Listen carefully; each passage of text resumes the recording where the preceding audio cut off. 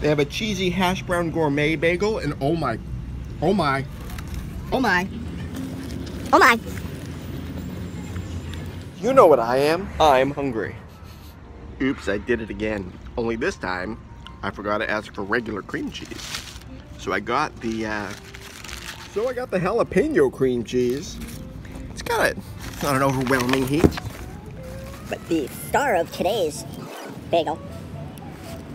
Turn you around.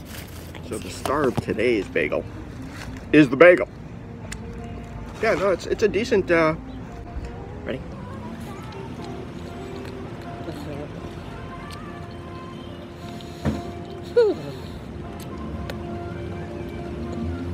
This bagel. It's made of potatoes. It's got hash browns in it. I mean, it just makes this a breakfast sandwich. The potatoes are built into it. I mean, what? Bruegger's, where the potatoes are built into the bagel. And it's delicious.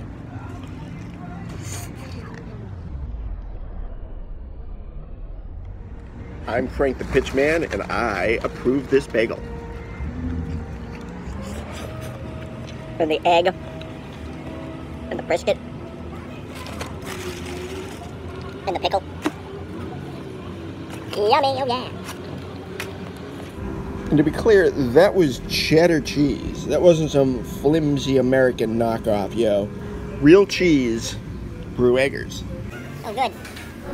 should be so lucky.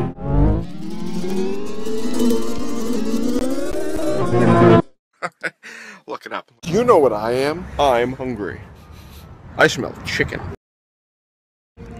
Yeah, no, it's it's a decent uh a decent jalapeno.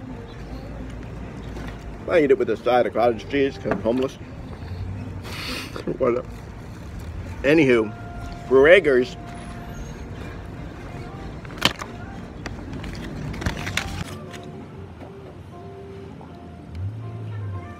Like it goes weird. My iPhone gets weird when I drink. Anywho.